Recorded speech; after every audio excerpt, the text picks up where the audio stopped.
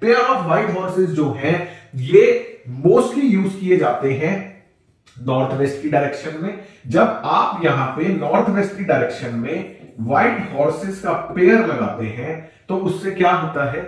White horses जो है, वो वाटर प्लस स्पेस एलिमेंट का कॉम्बिनेशन है।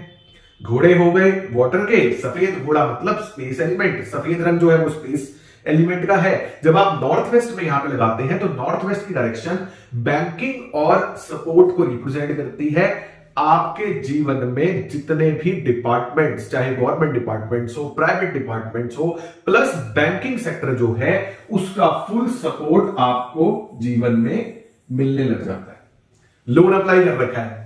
नहीं मिल रहा। घोड़े रख दो। पंद्रह दिन के अंदर लोन सैंक्शन हो जाएगा गारंटी अगर बाकी सारी चीज़ें बैलेंस है और घोड़े रख दिए पंद्रह दिन में लोन सैंक्शन हो। जाएगा इस चीज़ की गारंटी है।